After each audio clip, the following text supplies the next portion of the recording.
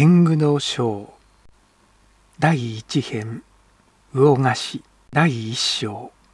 バカな顔をして待っていたってきっこはねえんだ。ねえ先生。と一人が長々と道場に寝そべったまま畳に頬杖をつき上目で仙太郎を見た。娘っ子のいる前だから矢野の野郎強がって行くの行かねえのと言ったがなに来る気も会う気もありゃしませんぜ。もう一人がつまらなさそうな顔で武者窓から表を眺めながら仙太郎を咎めるように言った。この二人は神田明神で仙太郎が矢野正五郎と巡り合った時ついていた若者であった。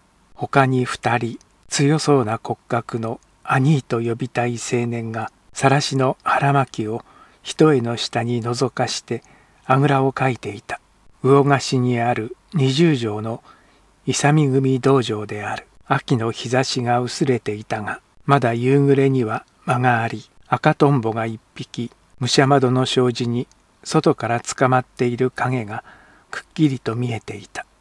正五郎と約束の夕方はこれからだったが彼らには待ちきれないものがあった。夕菓子の多忙をよそめに繊維に張り切っている彼らは心に講談の荒神山や飯岡の助五郎と笹川の重蔵の喧嘩などを思い浮かべてこれからの矢野正五郎とのいきさつをゾクゾクする期待で待っていたのである。魚菓子の勇肌の彼らの気負いは鈴まる。ところ命知らずの一語で尽きるが中でもこの勇組の荒さは柔術の一手でも知っているというところから手に負えないものがあった。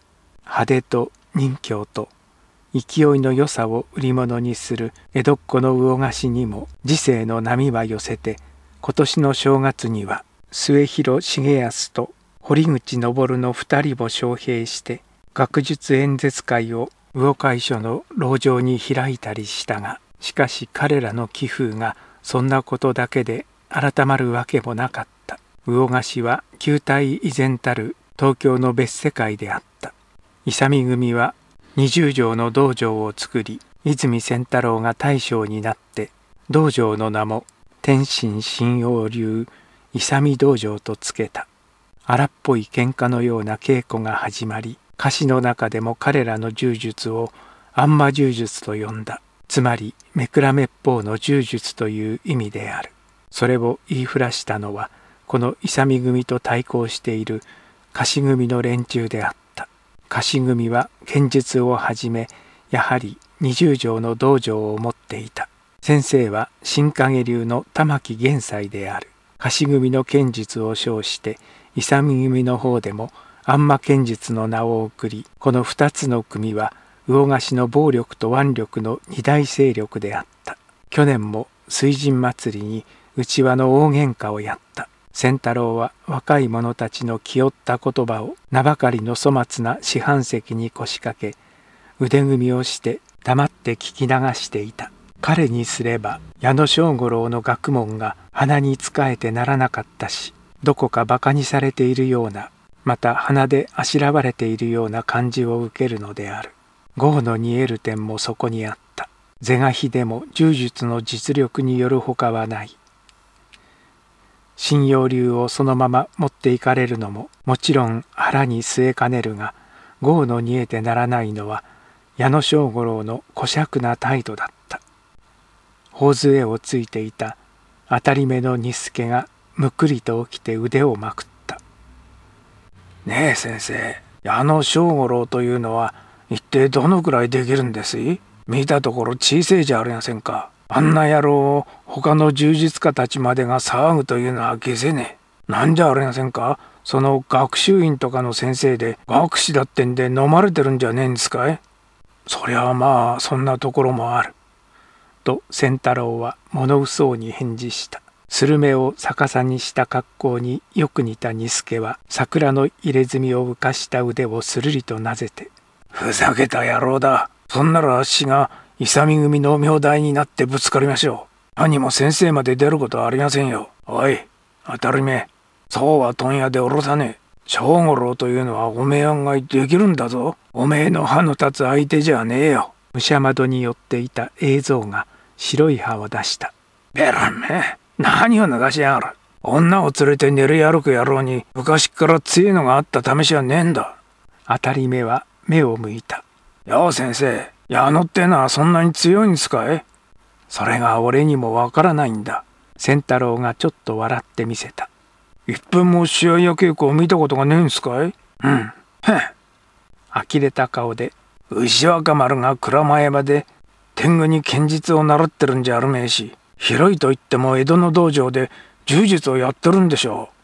羽目に背を寄せていた他の二人がニヤニヤ笑った。バカ野郎。ちっとやそっとの稽古を見たぐらいで技量がわかるものか。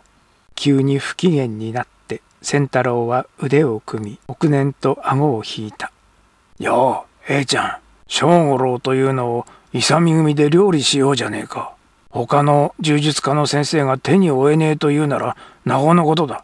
つまきにして大川へ流すくらいは痛めてやろうぜ。そりゃあ、勇み組が出たからには、やるところまでやらねえと恥をかくからな。映像が苦み走った顔に殺気を見せてうなずいた。矢野正五郎の姿は依然として見えなかった。満喫坊主の真似ではないが、私はヘラヘラペラ次第。武者窓の向こうをヘラヘラ踊りを歌って通った半台を担いだ母帝振りの声が消えた時映像がきっと仙太郎を見た先生野郎は来ませんぜ火に飛び込む虫の真似はしねえや。行きましょう。その佐賀町の野郎のうちというのへ。よし。仙太郎は腕を解いて立った。第二章。机の上に早苗の人形が乗っていた。笹小屋の娘の持っていただけあってその男人形は精巧なものだった。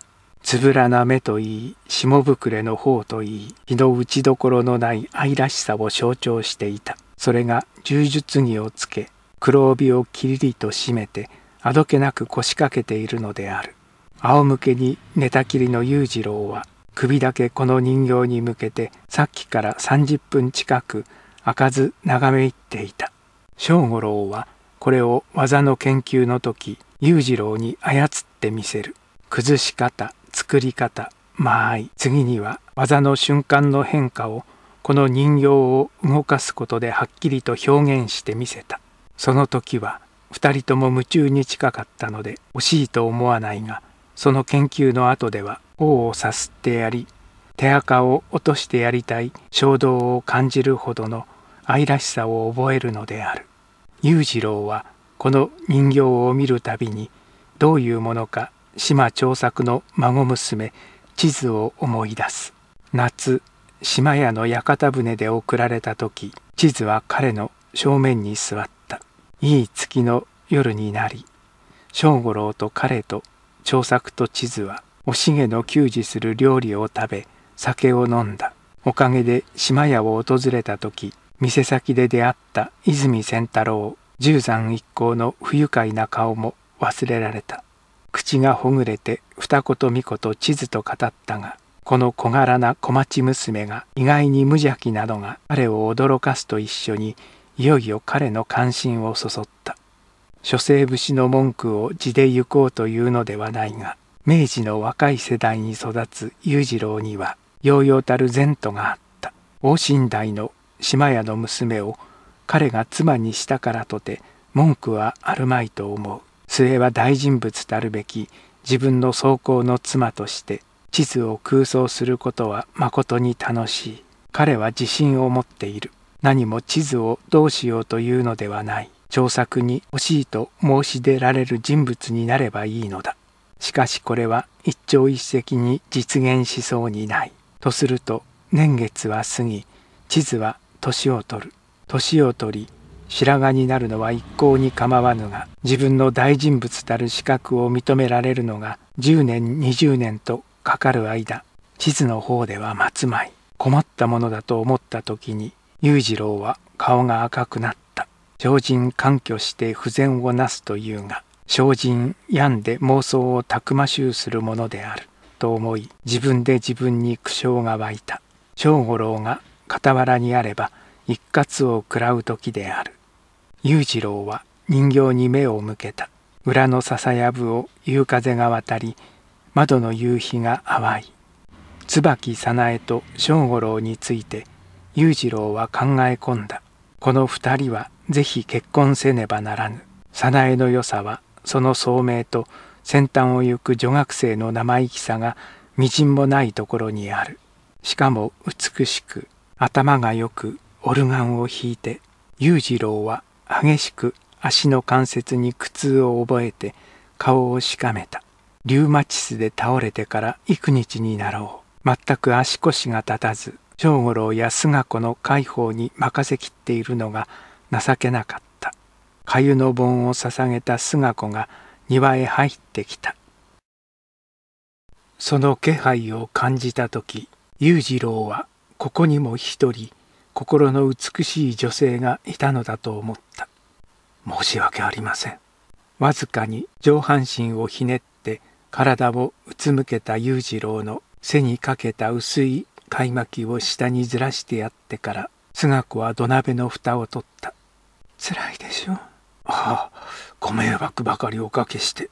粥の温かい湯気が裕次郎の目にしみた。菅子は目を人形に向けて「お人形が日増しに汚くなりますのね」はああの子も稽古が激しいものですから」と裕次郎は申し訳のように言った。早苗さんはあれきりおいでにならないけれどお人形を見たら汚くなったのでびっくりなさるわ。今に鼻や手がかけるかもしれません。おしまいはバラバラになりそうね。ああそういう気がします。裕次郎は菅子と対していると静かな心の和む時間が味わえた。これはこの女性の稀な穏やかさが持ってくる空気に似たものであった。ごちそうさまでした。いつもお手数ばかりかけてすみません。裕次郎は頭だけをうやうやしく下げて感謝した。でも戸田さん前よりは血色が良くなりましたね。そうでしょうか。自分でもそんな気がしています。裕次郎は頬や顎の武将髭をなぜて。先生はお父様とお話ししてました。あなたのご病気も柔術の稽古が過ぎるからだとヒロシに怒っていらっしゃったけれど。そんなことはありません。お父様は柔術を理解なさっていないからそんなことをおっしゃるんでしょう。しかし先生には申し訳ないです。ヒロシは笑ってました。笑いながら柔術は大成するまで続けるつもりだと言っていました。裕次郎の方は熱くなった。お嬢さん私は片輪になっても柔術はやめません。先生が大成するまでは先生には敵が多いんです。多ければ多いだけ私は先生の柔術大成のための捨て石に甘んじるつもりでおります。菅子はうなずいてこの病んだ青年の情熱をいたわる眼差しになっていたヒロシはあなたがいるから心丈夫なんでしょう。そういえば宣告聖寛寺さんは来るとすぐヒロシの顔を見て矢の柔術をやめんか。くだらんぞと仰せでした。先生は何と返事されました？お嬢さん。笑っていただけですの。笑って。裕次郎は正五郎の強固な意志を感じた。聖寛寺静馬は全参議であった。東京大学の理事長であるとともに正五郎を学習院教師に推薦した大先輩であった。そして現にここにいる菅子は静馬の次男高弘の言い名付けであった。公私ともに関係が深く矢野家としても一目も二目も置いている人物である。第三章裕次郎は目に見えぬ雲の糸に似たものが正五郎の身辺を包囲しているのを思った。柔術をやることがこれほどいろいろな故障をこしらえるとは正直に私は思いませんでした。馬鹿な話です。武術は日本人の魂のはずです。鉄砲もいいでしょう。大砲も兵式教練もサーベルもピストルも軍艦も砲台もこれから必要以上のものになりましょう。しかしその基本は何でしょう？お嬢さん。日本の日本人の武根じゃありませんか？この武根この武士道がなくて何の大砲です？何の兵式教練ぞやです？裕次郎は仰向いて寝たまま唇をかすかに震わした。政府が悪いんだ。政府がそいつを鵜呑みにして柔術を野蛮だというバカ野郎は誰だ。つぶやいた時彼の目に涙があった。が菅子の前で乱暴な口を聞いたのに気づきふと目を彼女に移して「すみませんお嬢さん。僕は少し興奮しているようです」「気を沈めてくださいね。病気に悪いでしょう」戸田さん柔術にだって理解者はいますもの。それから早苗さん。それから今にたくさんできますわね。菅子は笑ってみせたが目が潤んでいた。どうした戸田？気を高ぶらしてはいかんぞ。正五郎が円に上がってきていった。今ね呪術のお話をしていました。菅子は静かに裕次郎の食器を片付けて盆を手に持った。ひろしさんの呪術をいじめる人が多いって戸田さんが憤慨してね涙をこぼして。怒るな怒るな。怒ったところで感心する人間も理解する人も出ては来ないぞ。安心しろ。呪術は栄える。ただし30年50年かかるかもしれん。正五郎はことも投げに言い机の前に座った。姉さん聖寛寺さんにお夕食が出るらしいですよ。まあそう。菅子は盆を支えて静かに母屋へ帰っていった。先生。床の中から裕次郎が呼んだ。50年。先生は柔術のために辛抱されるつもりですか？50年とは言わん。一生だな。柔術を統一されるんですね勃興させるのだ。戸田も一生を捧げます。柔術のみとは言わん。武術一切の交流が究極の道だな。武根たくましくて国栄え武根衰えて国滅ぶと私は信じている。このままでは日本は滅びますね。一年ごとに日本は日本でなくなってきます。それには答えず正五郎は畳に散らした本を机に積み本箱に刺しながら「今日は何日だったな戸田。14日です。14日。正五郎は顔を上げて庭の日差しを見た。約束の日である。神田明神の境内で泉仙太郎に約束したのは今日であった。時を遅らしてあの連中がこの屋敷へやってきてはいたずらに邸内を騒がせまた万一のことがあった時この病みついた裕次郎の身の上も心配であった。正五郎は決して争おうとは思わぬ。また勝負をしようとは思わぬ。しかし相手は魚河岸の気質の荒い中にも一段と激しい勇み組を背景にしていた。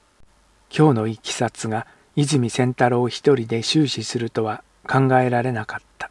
明神でも二人の手下を連れていた。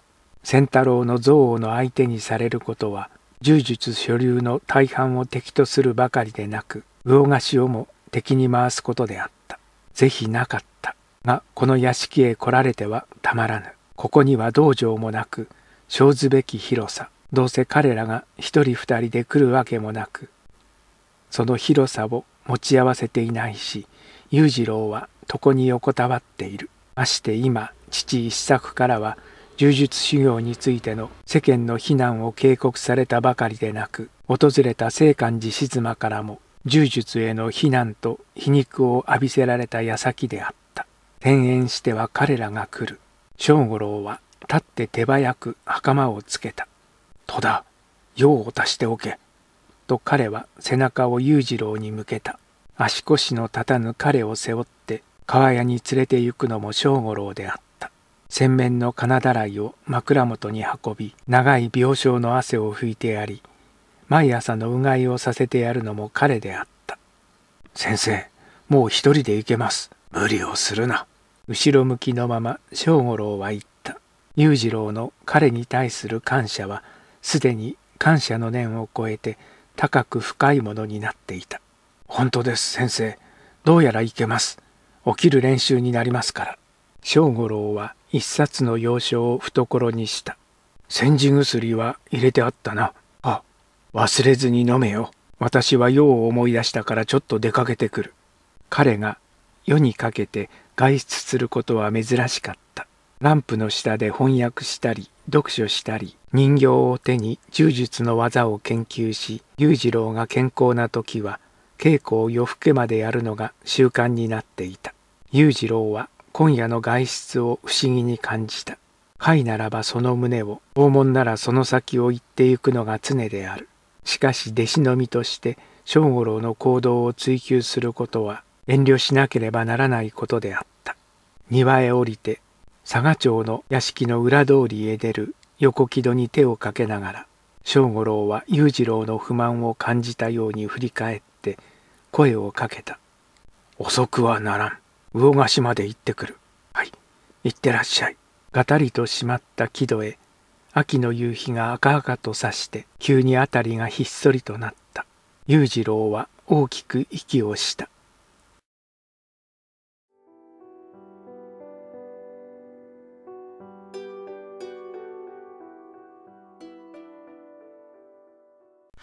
第四章。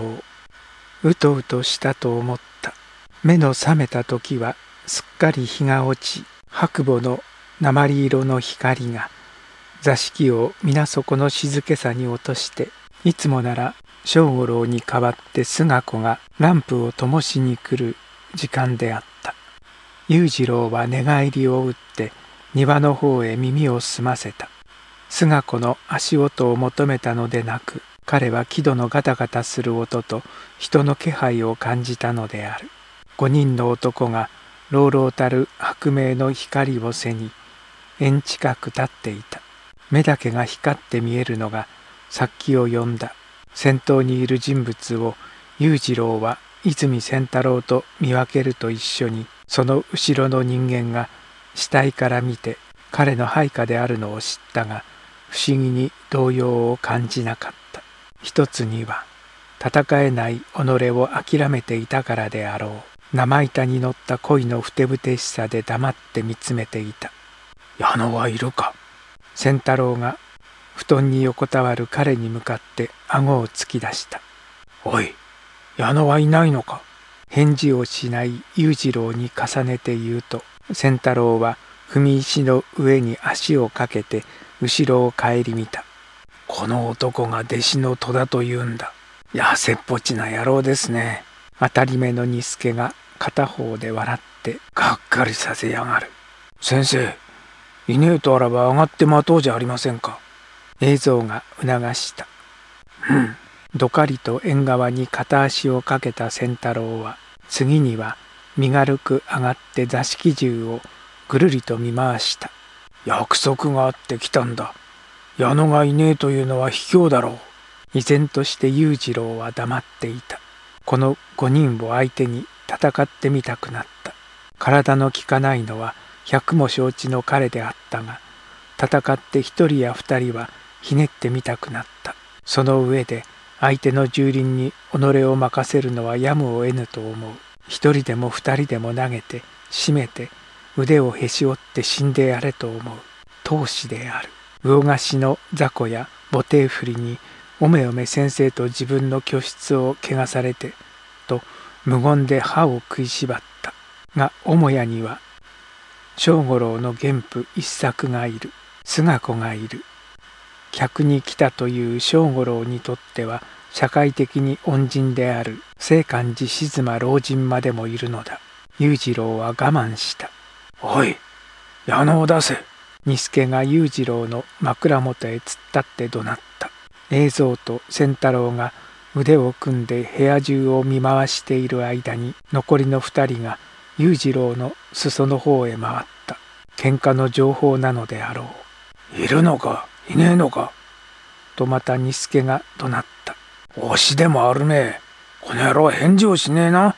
声と一緒に当たり目の仁助は裕次郎の枕を蹴った。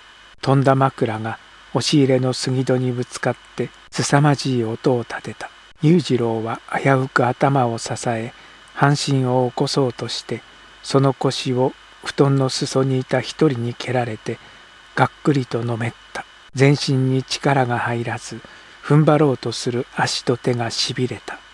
涙が目尻を伝わった矢野はまた逃げたなと仙太郎が嘲笑的な小姉で独り言のようにつぶやいた先生は逃げんぞ裕次郎は大声を出した。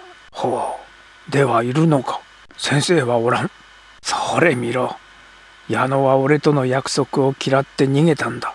勇道場へ来ると言ったがあれは女の前の強がりだな。風上に置けないやつだ。来ないからこうして家へ来てみりゃお前のような痩せガエル一匹だ。お前はもう散々稽古をつけてやったからいいが矢野という男は家族学校の先生でござい文学士でござい学者でございというが男同士の約束を逃げるようでは 大したご人格だ。大した武士だ。言っておけ。仙太郎は大将の貫禄を見せてしまいの文句に凄みと落ち着きを含ませていった。バカを言え先生が先生が君らのような雑魚やゲスを逃げるものか。相手にしないだけだ。言うなこの青ビオタン映像が裕次郎の肩を蹴った。横に転がされながら裕次郎は腹渡を絞る努力で叫んだ。覚えておけ。先生は大魚だ。君らは雑魚だということを。突然仙太郎が笑い出した。手に稽古人形をぶら下げて振った。見ろ。矢野はこんな人形を机に飾って喜んでいる代物だ。女みてえなやつだな。こいつはいいや。父ちゃん母ちゃんのままごとをやってんのか。てめえの先生というのはな。女の子でも集めてよ。二助が人形を受け取ると放り回してポンと隅に投げた。壁に当たって人形はうつ伏せに畳に落ちた。雑魚に先生の精神がわかるか。裕次郎は少年のようにおめいた。何を抜かしやがる当変木二助は憎さが余ったという顔で裕次郎の振り向けた顔に足を突きつけた。引き上げよう。仙太郎は顎で指図してから行きがけに裕次郎を振り返った。言っておけよ。矢野に草の根を分けても奥伝盗みの懲らしめに二度と立てないまで投げてやるからとな。そのまま仙太郎は庭へ降りた。4人が続いた。裕次郎は歯を食いしばった。4人が庭から木戸へ頬を移した時菅子が青ざめた顔にこれはまたすごいまでに冴えた。美しい怒りの表情を浮かべて5人の前に立っていた。第5章。あなた方は何の御用でおいでになりました？菅子の声は幾分の震えこそあったが5人の男を前に女性としては落ち着きすぎていた矢野正五郎に用があってきた返事をしたのは仙太郎であるそれならばなぜ屋敷の門からお尋ねになりませんの？矢野は逃げの名人だからね。と二助が片方を歪めた。押し込み強盗のように屋敷へ忍び込む人たちのことは何とお思いになりますこと？やかましいや。イルスを使うといけねえから近所の人に聞いて直に乗り込んだだけよ。菅子の顔は夕闇の中に冴えて白かった。目が男たちに眩しい気遅れを感じさせるほどに光っていた。正五郎は外出しています。ご用なら私が伺います。あなた方は病気の人に暴行を働いて痛快ですの。何を言いやがる。お前様身内か？姉です。やっぱり理屈っぽいや。学士の姉さんだけのことはあら。言ったのは映像だった。そこにいる痩せガエルが体も効かねえのに欧風な口を叩くから潰したまでよ。菅子はちらりと目の隅に暗い座敷を映した裕次郎は声を立てなかった引き上げよう女に用はないと仙太郎は木戸を肩で押し開けた御用というのは何です？一歩菅子は木戸の方に動いて残る4人の前に立った。うるせえな。用というのは矢野正五郎と勇組の泉先生とが今日柔術の果たし合いをする約束だったんだ。ところが野郎は勇組の道場へも来ねえしここにもいねえ。得意の36系逃げるにしかずというやつよ。分かったか？分かったら正五郎に言っときね。え。草の根を分けても。お黙りなさい。凛然たる声であった。菅子が頬にひやりとするような微笑を浮かべた。正五郎はあなた方から逃げるような卑怯はしません。と、勇組の道場とかに大方あなた方を待っています。な、何を言いやがる。そんなことができる野郎かい。頬を叩かれた顔つきで当たり目のニスケは菅子を肘で押して木戸を出た。三人がそれに倣った。菅子は静かに開けっぱなしの木戸を閉めた。戸田さん。縁側に上がった彼女は小さく叫んだ。裕次郎は床の中にいなかった。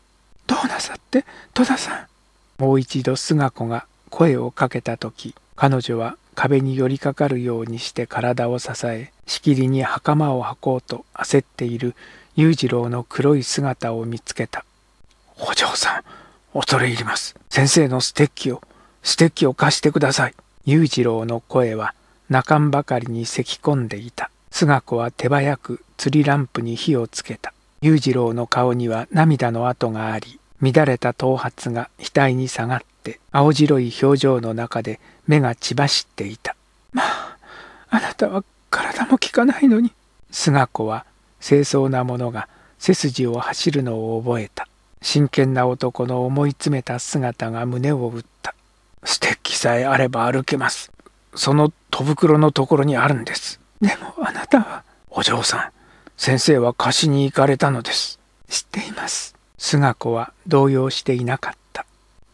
先生に万一のことがあるとあいつらは命知らずのブライカンです。お嬢さん。裕次郎は言葉を交わすのももどかしそうによろけながら縁側に出ると正五郎の桜のステッキを杖にして肩で息をした。歩けるということが彼自身にも不思議であった。戸田さんいけません。あなたはその体で何をなさろうというの？押し返すようにした。菅子の体と裕次郎のステッキに支えた体がもつれた。いけません。四つの目が悪意でなく、お互いの真実を知り尽くしながら反発し合った。ヒロシはあの人たちが言うように逃げたかもしれません。身の危ういようなことをするヒロシではありませんもの。いや、先生は魚河岸へ行くと。戸田さん、ヒロシを信じましょう。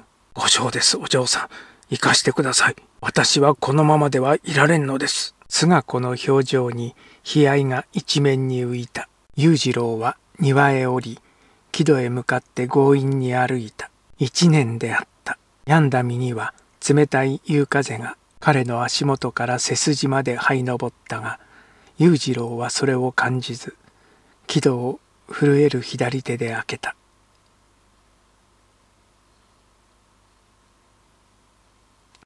食後の茶を客間に運んだ菅子は平素の冷静を取り戻していた。一作がキセルを火鉢に軽くはたいて「何者だ?」と聞いた。